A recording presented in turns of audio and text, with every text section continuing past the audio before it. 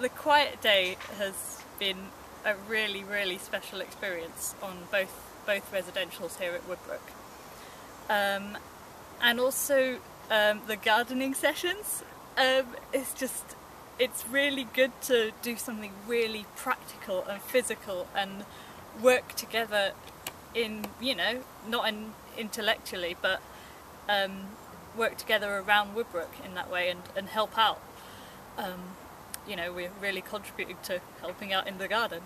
Um, but also, I really, really like um, the courses on Quaker history and the, the sessions on Quaker history and, and um, yeah, Quakerism in um, like the structure of British Quakers and just, yeah, the expertise here at Woodbrooke is, you know, it's a world-class centre of Quaker learning. It's We've got these amazing people who know so much and yeah, to benefit from that is, is really good.